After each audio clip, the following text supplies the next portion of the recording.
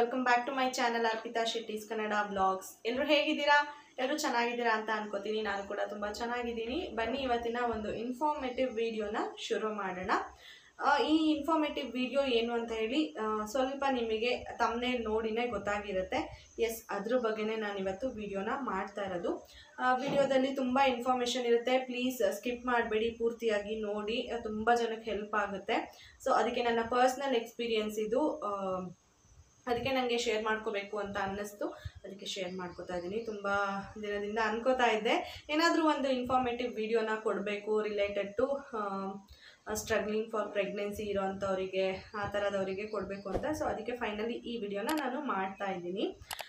Okay ವಿಡಿಯೋನ start ಮಾಡೋಣ. ಅದಕ್ಕೆ ಮುಂಚೆ ಯಾರಾದರೂ ಇನ್ನೂ ಸಬ್ಸ್ಕ್ರೈಬ್ ಮಾಡ್ಕೊಂಡಿಲ್ಲ ಅಂದರೆ ಪ್ಲೀಸ್ ನನ್ನ ಚಾನಲ್ನ ಸಬ್ಸ್ಕ್ರೈಬ್ ಮಾಡ್ಕೊಳ್ಳಿ.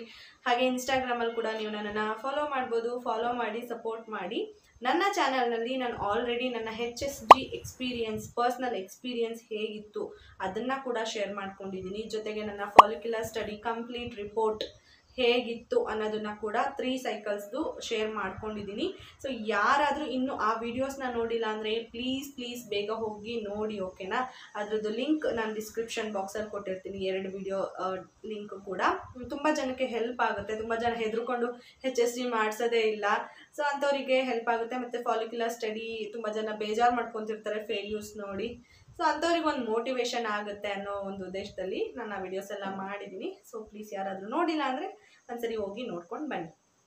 ಓಕೆನಾ ಇವತ್ತು ನಾನು ಮಾಡ್ತಾ ಇರೋವಂಥ ಟಾಪಿಕ್ ಬಂದು ತುಂಬ ಜನ ಈಗ ಇರುವಂಥ ಪ್ರೆಸೆಂಟ್ ಸಿಚುವೇಶನಲ್ಲಿ ಫರ್ಟಿಲಿಟಿ ಪ್ರಾಬ್ಲಮ್ಸ್ನ ಸಖತ್ ಫೇಸ್ ಮಾಡ್ತಾ ಇದ್ದೀವಿ ಈವನ್ ಡಾಕ್ಟರ್ಸೇ ಹೇಳೋ ಹಾಗೆ ಹತ್ತರಲ್ಲಿ ಒಂದು ಎಂಟು ಜನ, ಒಂಬತ್ತು ಜನಕ್ಕೆ ಈ ಥರ ಪ್ರಾಬ್ಲಮ್ ಇದ್ದೇ ಇದೆ. ಸೊ ಯಾಕೆ ವರಿ ಮಾಡ್ಕೋತೀರಾ ಅಂತ ನನಗೇನೆ ಎಷ್ಟೊಂದು ಸರಿ ಸಮಾಧಾನ ಮಾಡಿದ್ದಾರೆ. ಯಾಕೆಂದರೆ ನಾನು ಕೂಡ ಅವ್ರ ಹತ್ರ ನನ್ನ ಫೀಲಿಂಗ್ಸ್ನ ಶೇರ್ ಮಾಡಿಕೊಂಡಾಗ ಮಗು ಈ ಥರ ಸ್ಟ್ರಗಲ್ ಪಡ್ತಾ ಇದ್ದೀವಿ ಪ್ರೆಗ್ನೆನ್ಸಿ ಆಗೋದಕ್ಕೆ ಅಂತ ಅವ್ರ ಹತ್ರ ಪರ್ಸ್ನಲ್ ಆಗಿ ಮಾತಾಡಿದಾಗ ಅದನ್ನು ಅವ್ರು ಹೇಳಿದರು. ಅದು ನಿಮಗೂ ಕೂಡ ಗೊತ್ತಿರುತ್ತೆ. ಯಾಕಂದರೆ ಈಗಿನ ಲೈಫ್ ಸ್ಟೈಲ್ ಆಗಿದೆ ನಾವು ತಿನ್ನೋಂಥ ಆಹಾರದಲ್ಲೇ ಎಷ್ಟೊಂದು ಕೆಮಿಕಲ್ಸ್ ಶುರು ಆಗಿಬಿಟ್ಟಿದೆ ಸೊ ಹಾಗಾಗಿ ಇದು ಪ್ರಾಬ್ಲಮ್ ಬಂದು ಕಾಮನ್ ಪ್ರಾಬ್ಲಮ್ ಆಗಿಬಿಟ್ಟಿದೆ ಇದು. ಲೈಫ್ ಸ್ಟೈಲ್ ಡಿಸೀಸ್ ಆಗಿಬಿಟ್ಟಿದೆ. ಏನಂದರೆ ಈ P C O D P C O S thyroid ಇರೋದು ಅಥವಾ ಡಯಾಬಿಟಿಸ್ ಲೆವೆಲ್ಲು ತುಂಬ ಆಗಿ ಬರೋದು ಅಥವಾ ಪ್ರೆಗ್ನೆನ್ಸಿನಲ್ಲಿ ಬರೋದು. ಫಾರ್ ಎಕ್ಸಾಂಪಲ್ ನನಗೆ ಪ್ರೆಗ್ನೆನ್ಸಿನಲ್ಲಿ ಬಂತು.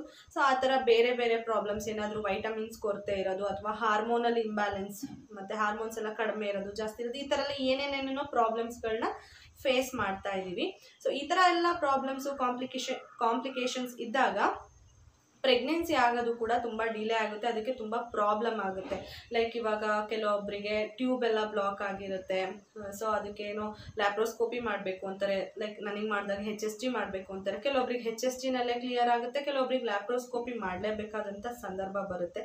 ಸೊ ಈ ಥರ ಎಲ್ಲ ಏನೇನೋ ಪ್ರಾಬ್ಲಮ್ಸ್ಗಳನ್ನ ಫೇಸ್ ಮಾಡ್ತಾ ಇದ್ದೀವಿ. ನಾವೇನು ಮಾಡ್ತೀವಿ? ಈ ಥರ ಎಲ್ಲ ಪೀರಿಯಡ್ಸ್ ಡಿಲೇ ಆಗೋದು P C O D P C O ಇದ್ದಾಗ ಮಗು ಆಗ್ತಿಲ್ಲ, ಒಂದು ಆರು ತಿಂಗಳು ಟ್ರೈ ಮಾಡ್ತೀವಿ, ಒಂದು ವರ್ಷ ಟ್ರೈ ಮಾಡ್ತೀವಿ. ಕೆಲವೊಬ್ಬರಂತೂ ಬೇಗನೆ ಡಿಸಪಾಯಿಂಟ್ ಆಗಿಬಿಟ್ಟು ಬೇಗ ಹಾಸ್ಪಿಟಲ್ನ ವಿಸಿಟ್ ಮಾಡ್ತಾರೆ. ಸೊ ನಾನೇನು ಹೇಳೋದು, ಯಾರಾದರೂ ಟ್ರೈ ಮಾಡ್ತಾ ಇದ್ರೆ ಏನೂ ಪ್ರಾಬ್ಲಮ್ ಇಲ್ಲ. ನ್ಯಾಚುರಲ್ ಆಗಿ ಟ್ರೈ ಮಾಡ್ತಾ ಇದ್ರೆ ಒನ್ ಇಯರ್ವರೆಗೂ ಟ್ರೈ ಮಾಡಿ, ಆದಮೇಲೆ ನಿಮಗೆ ಏನು ರಿಸಲ್ಟೇ ಸಿಕ್ಕಿಲ್ಲ ಪಾಸಿಟಿವ್ ಅಂದಾಗ ನೀವು ಹಾಸ್ಪಿಟಲ್ ಅಥವಾ ಡಾಕ್ಟರ್ನ ಕನ್ಸಲ್ಟ್ ಮಾಡಿ ಅಂತ ನನ್ನ ಸಜೆಷನ್ ಯಾಕೆಂದರೆ ಒನ್ ಇಯರ್ ಬೇಕಾಗುತ್ತೆ.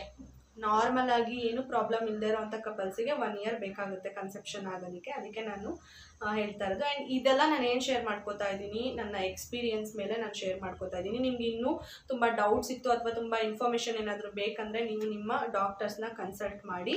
ಏನೇ ಒಂದು ಡಿಸಿಷನ್ ತೊಗೊಳಕ್ಕೆ ಮುಂಚೆ ಒಂದು ಎರಡು ಮೂರು ಸರಿ ಯೋಚನೆ ಮಾಡಿ ಡಾಕ್ಟರ್ನ ಕನ್ಸಲ್ಟ್ ಮಾಡಿ, ಆಮೇಲೆ ನೀವು ಡಿಸಿಷನಿಗೆ ಬರ್ಬೋದು ಓಕೆನಾ ಓಕೆ ಈ ಥರ ಎಲ್ಲ ಪ್ರಾಬ್ಲಮ್ಸ್ ಇಟ್ಕೊಂಡು ನಾವೇನು ಮಾಡ್ತೀವಿ? ಮಗು ಆಗ್ತಿಲ್ಲ ಅಂತ ಹೇಳಿ ಹಾಸ್ಪಿಟಲ್ಗೆ ಹೋಗಬೇಕು ಅಂತ ಅನ್ಕೊತೀವಿ. ಹೋಗೋಕ್ಕೆ ಮುಂಚೆ ಏನು ಅನಿಸುತ್ತೆ? ಏನೋ ಎತ್ತೋ, ಏನೇನು ಹೇಳ್ತಾರೋ ಟೆಸ್ಟಲ್ಲೆಲ್ಲ ಎಷ್ಟು ಖರ್ಚಾಗುತ್ತೋ, ಯಾವ್ಯಾವ ಟೆಸ್ಟ್ ಮಾಡಿಸ್ಬೇಕು ಅನ್ನೋದು ನಮ್ಮ ತಲೆಯಲ್ಲಿ ಬಂದೇ ಬರುತ್ತೆ. ಕೆಲವೊಬ್ರಿಗಂತೂ ಏನೂ ಗೊತ್ತಿರಲ್ಲ, ಅದ್ರ ಬಗ್ಗೆನೇ ಗೊತ್ತಿರಲ್ಲ ಸುಮ್ಮನೆ ಹಾಸ್ಪಿಟಲ್ಗೆ ಹೋಗ್ತೀವಿ. ನಾನು ಕೂಡ ಫಸ್ಟ್ ಟೈಮ್ ಹಾಗೇನೆ ಹೋಗಿದ್ದು. ನನಗೆ ಶಾಕ್ ಆಗೋಯ್ತು. ಇಷ್ಟೊಂದು ಟೆಸ್ಟ್ಗಳು ಮಾಡ್ತಾರ, ಇಷ್ಟೊಂದು ಕಾಸ್ಟ್ ಆಗುತ್ತಾ ಅಂತ ಹೇಳಿ.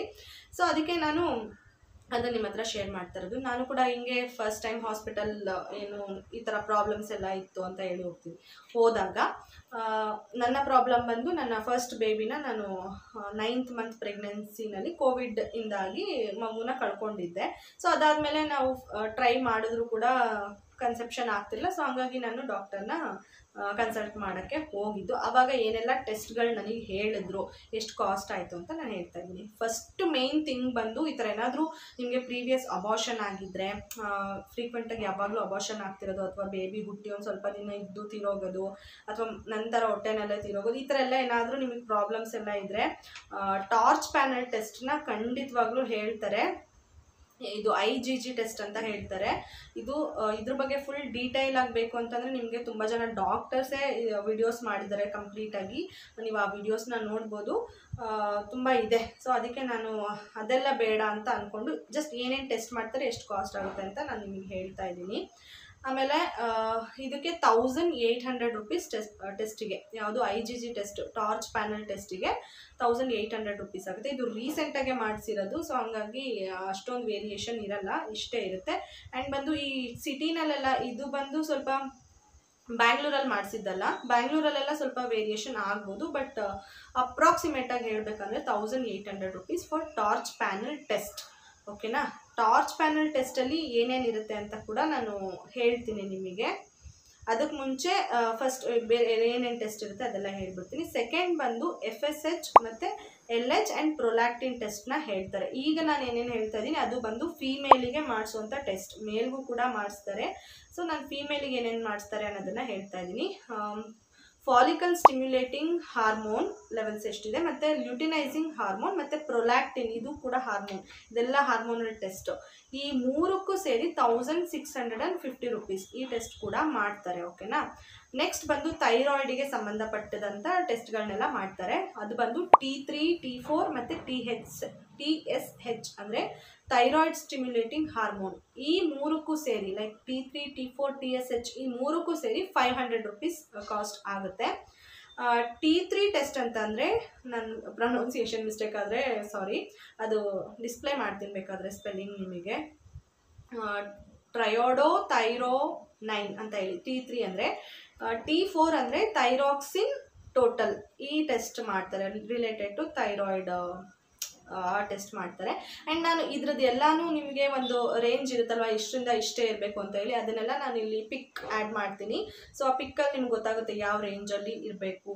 ಈ ಎಲ್ಲ ಹಾರ್ಮೋನ್ಸ್ ಅಥವಾ ಏನೇನು ಟೆಸ್ಟ್ ಮಾಡಿಸಿದ್ದಾರೆ, ಅದರ ರಿಲೇಟೆಡ್ಡು ರೇಂಜಸ್ನ ನಾನು ಇಲ್ಲಿ ಪಿಕ್ ಆ್ಯಡ್ ಮಾಡ್ತೀನಿ, ನೋಡ್ಬೋದು. ಇನ್ನೊಂದು ಇಂಪಾರ್ಟೆಂಟ್ ಇದು ಎಲ್ರಿಗೂ ಮಾಡಿಸೇ ಮಾಡಿಸ್ತಾರೆ H B A one C ಓಕೆನಾ ಇದು ಗ್ಲೈಕೋಸಿಲೇ ಸಿಲೇಟೆಡ್ ಇದು ಬಂದು ಗ್ಲೈಕೋಸಿಲೇಟೆಡ್ ಹಿಮೋಗ್ಲೋಬಿನ್ ಮಾಡಿಸೋದು H B A one C ಇದಕ್ಕೆ ಫೋರ್ ಹಂಡ್ರೆಡ್ ರುಪೀಸ್ ಆಗುತ್ತೆ.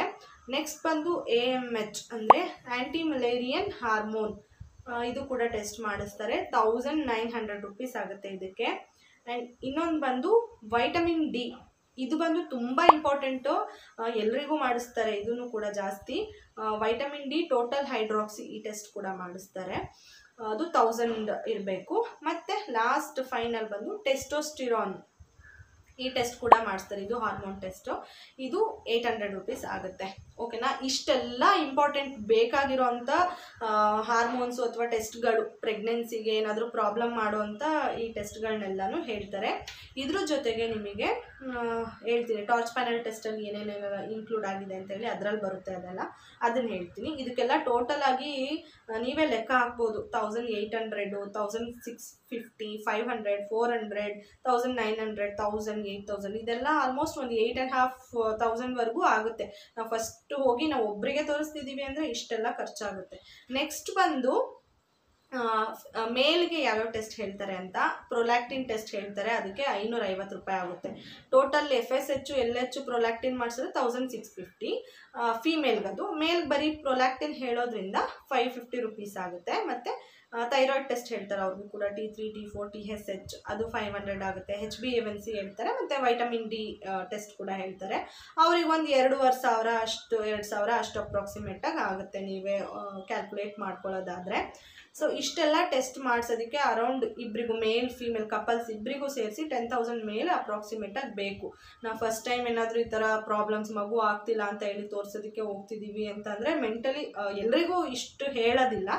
ಅಕಸ್ಮಾತ್ ಫಿಕ್ಸ್ ಆಗಬೇಕು ಅಂತಂದರೆ ಇಷ್ಟು ರೇಂಜಿಗೆ ಫಿಕ್ಸ್ ಆಗಬೇಕು. ಆಲ್ಮೋಸ್ಟ್ ಇವಾಗ ಎಲ್ಲರೂ ಈ ಟೆಸ್ಟ್ಗಳೆಲ್ಲನೂ ಬೇಸಿಕ್ಸ್ ಆಗಿ ತೊಗೊಬಿಟ್ಟಿದ್ದಾರೆ ಎಲ್ಲ ಮಾಡಿಸೇ ಮಾಡಿಸ್ತಾರೆ. ಬಿಕಾಸ್ ರಿಸ್ಕ್ ತೊಗೊಳಕ್ಕೆ ಯಾರಿಗೂ ಇಷ್ಟ ಇರೋದಿಲ್ಲ ಅಲ್ವಾ ಡಾಕ್ಟರ್ಸ್ಗೂ ಫಸ್ಟೇ ಎಲ್ಲ ಏನೇನು ಪ್ರಾಬ್ಲಮ್ಸ್ ಇದೆ, ಎಲ್ಲ ನಾರ್ಮಲ್ ಇದೆ ಅಂತ ನೋಡಿಬಿಟ್ಟು, ಆಮೇಲೆ ಟ್ರೀಟ್ಮೆಂಟ್ನ ಅದ್ರ ತಕ್ಕನಾಗಿ ಸ್ಟಾರ್ಟ್ ಮಾಡೋದಕ್ಕೆ ಅವರಿಗೂ ಈಸಿ ಆಗುತ್ತೆ. ಮತ್ತು ಬೇಗ ರಿಸಲ್ಟ್ ಕೂಡ ಸಿಗುತ್ತೆ ಇದರಿಂದ. ಸೊ ಹಾಗಾಗಿ ಈ ಟೆಸ್ಟ್ಗಳೆಲ್ಲ ಆಲ್ಮೋಸ್ಟ್ ಹೇಳ್ತಾರೆ. ಆಯಿತಾ? ಇವಾಗ ನಾನು ಮೇಯ್ನ್ ಬಂದು ಟಾರ್ಚ್ ಪ್ಯಾನಲ್ ಟೆಸ್ಟಲ್ಲಿ ಏನೇನು ಟೆಸ್ಟ್ಗಳಿದೆ ಅದನ್ನು ಹೇಳ್ತೀನಿ. ಎಸ್ ಫ್ರೆಂಡ್ಸ್ ಇವಾಗ ನಾನು ಟಾರ್ಚ್ ಪ್ಯಾನಲ್ ಟೆಸ್ಟಲ್ಲಿ ಯಾವ್ಯಾವ ಟೆಸ್ಟ್ ಮಾಡ್ತಾರೆ ಅಂತ ಹೇಳ್ತೀನಿ. ಟಾರ್ಚ್ ಪ್ಯಾನಲ್ ಟೆಸ್ಟ್ ರೇಟ್ ಆಗಲೇ ಹೇಳಿದ್ದೀನಿ. ಇದೆಲ್ಲ ಸೇರಿಸಿ ಅವರು ರೇಟ್ ನಿಮಗೆ ಕಾಸ್ಟ್ ಹಾಕಿರ್ತಾರೆ. ಫಸ್ಟ್ ಬಂದು toxoplasma antibody I G G ಇದನ್ನು. ಇದನ್ನು ಕೂಡ ಟೆಸ್ಟ್ ಮಾಡ್ತಾರೆ. ಮತ್ತು ರುಬೆಲ್ಲಾ ಆ್ಯಂಟಿಬಾಡಿ ಇದೆಯಾ ಅಂತ ಹೇಳಿ ಅದನ್ನು ಟೆಸ್ಟ್ ಮಾಡ್ತಾರೆ. ಸೈಟೋ ಮೆಗಲೋ ವೈರಸ್ ಐ ಜಿ ಜಿ ಇದು ಕೂಡ. ಈ ವೈರಸ್ ಟೆಸ್ಟ್ ಇದನ್ನು ಕೂಡ ಮಾಡ್ತಾರೆ. ಜೊತೆಗೆ ಹರ್ಪಿಸ್ ಸಿಂಪ್ಲೆಕ್ಸ್ ವೈರಸ್ ಇದೆಲ್ಲ ಬಂದು ಒಂಥರ ವೈರಸ್ಗಳ ವಿರುದ್ಧ ಹೋರಾಡುವಂಥ ಆ್ಯಂಟಿಬಾಡೀಸ್ ಇದೆಯೋ ಇಲ್ವೋ ಅಂತ ಹೇಳಿ ಟೆಸ್ಟ್ ಮಾಡೋದು ಟಾರ್ಚ್ ಪ್ಯಾನಲ್ ಟೆಸ್ಟಲ್ಲಿ ಇನ್ನೂ ಡೀಟೇಲಾಗಿ ಬೇಕು ಅಂದರೆ ನಾನು ಹೇಳಿದ್ದೀನಲ್ವ? ಸೊ ತುಂಬ ವೀಡಿಯೋಸ್ ಇದೆ. ಅದ್ರ ಬಗ್ಗೆ ಡೀಟೇಲಾಗಿ ನೋಡಿ. ನಿಮಗೆ ಅಷ್ಟು ಮೀರಿ ಕನ್ನಡದಲ್ಲಿ ಬೇಕು ಅಂತ ಏನಾದರೂ ಇದ್ದರೆ ಕಮೆಂಟ್ ಸೆಕ್ಷನಲ್ಲಿ ಕಮೆಂಟ್ ಮಾಡಿ ತಿಳಿಸಿ. ನಾನು ಸ್ವಲ್ಪ ತಿಳ್ಕೊಂಡು ನಿಮಗೆ ವಿಡಿಯೋ ಮಾಡಿ ಶೇರ್ ಮಾಡೋದಕ್ಕೆ ಟ್ರೈ ಮಾಡ್ತೀನಿ ಓಕೆನಾ ಸೊ ಇಷ್ಟೆಲ್ಲ ಟೆಸ್ಟ್ಗಳನ್ನ ಮಾಡ್ತಾರೆ. ಮೇಲ್ ಮತ್ತು ಫಿಮೇಲ್ಗೆ ಎಷ್ಟು ರೇಟ್ ಆಯಿತು ಅದನ್ನೆಲ್ಲನೂ ಹೇಳಿದ್ದೀನಿ ಸೊ, ಎಲ್ರಿಗೂ ಇದೆಲ್ಲ ಟೆಸ್ಟನ್ನು ಮಾಡಿಸ್ತಾರೆ ಅಂತ ಏನಿಲ್ಲ, ಓಕೆನಾ? ಅವರ ಹಿಸ್ಟ್ರಿ ಮೇಲೂ ಕೂಡ ಡಿಪೆಂಡ್ ಆಗುತ್ತೆ, ಓಕೆನಾ? ಅದು ಅವ್ರ ಏನು ಹಿಸ್ಟ್ರಿ ಇರುತ್ತೆ, ಅವ್ರ ಪ್ರೆಗ್ನೆನ್ಸಿ ಆಗಿದೆಯೋ ಇಲ್ವಾ, ಫಸ್ಟ್ ಪ್ರೆಗ್ನೆನ್ಸಿನ ಆ ಥರ ಎಲ್ಲದ್ರ ಮೇಲೂ ಡಿಪೆಂಡ್ ಆಗಿ ಮೊದಲನೇ ಮಗು ಏನಾದರೂ ಆಯಿತಾ, ಅಬಾಷನ್ ಆಗ್ತಿದೆಯಾ? ಸೊ, ಈ ಥರ ಡಿಪೆಂಡ್ ಆಗಿ ಒಂದಷ್ಟು ಟೆಸ್ಟ್, ಇದರಲ್ಲಿ ಇಷ್ಟು ಟೆಸ್ಟಲ್ಲಿ ಒಂದಷ್ಟು ಟೆಸ್ಟ್ ಅಂತೂ ಹೇಳ್ತಾರೆ, ಎಲ್ಲ ಟೆಸ್ಟು ಹೇಳಲೇಬೇಕು ಅಂತ ಏನು ರೂಲ್ಸ್ ಇಲ್ಲ, ಬಟ್ ಇರುತ್ತೆ ಇಷ್ಟು. ಸೊ ನಾನು ಇದನ್ನೆಲ್ಲ ನಿಮ್ಮ ಹತ್ರ ಶೇರ್ ಮಾಡ್ಕೊಂಡಿದ್ದೀನಿ ನಿಮಗೆ ಯೂಸ್ಫುಲ್ ಅನಿಸುತ್ತೆ ಅನ್ನೋ ಒಂದು ಉದ್ದೇಶದಿಂದ.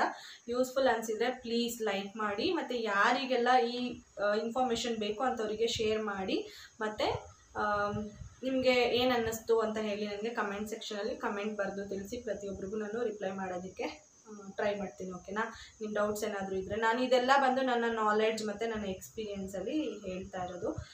ಸೊ ಓಕೆ ಈ ವಿಡಿಯೋ ಇನ್ಫಾರ್ಮೇಟಿವ್ ವಿಡಿಯೋನ ಇಲ್ಲಿಗೆ ಎಂಡ್ ಮಾಡ್ತೀನಿ. ಏನಾದರೂ ನಿಮಗೆ ಇದ್ದರೆ ಕಮೆಂಟ್ ಸೆಕ್ಷನಲ್ಲಿ ತಿಳಿಸಿ ಅಂತ ಹೇಳಿದ್ದೀನಲ್ಲ ಸೊ ಕಮೆಂಟ್ ಮಾಡಿ ತಿಳಿಸಿ. ನಾನು ಏನಾದರೂ ಮಿಸ್ ಮಾಡಿದರೆ ಅಲ್ಲಿ ನಾನು ಆನ್ಸರ್ ಮಾಡ್ತೀನಿ. Okay finally thank you so much for watching my video ಮತ್ತು ನಾನು ನೆಕ್ಸ್ಟ್ ಒಂದು ಇನ್ಫಾರ್ಮೇಟಿವ್ ವಿಡಿಯೋ ಅಥವಾ ಬ್ಲಾಗಲ್ಲಿ ಸಿಗ್ತೀನಿ. ಅಲ್ಲಿವರೆಗೂ please be safe be healthy and thank you thank you thank you so much for watching my video please subscribe ಮಾಡ್ಕೊಳ್ಳಿ ನನ್ನ ಚಾನಲ್ನ ಓಕೆನಾ ಬಾಯ್